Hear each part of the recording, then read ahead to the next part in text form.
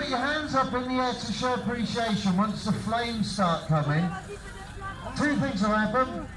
One, the driver will be very happy to see that you're happy. And two, you can warm your hands up. It's my favourite trick to play at Pod. Yes.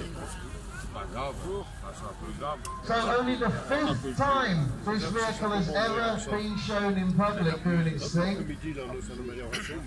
A couple of weekends ago at a show that I'd hosted for about 15 years, I think, the Retro Show, they had serious running issues.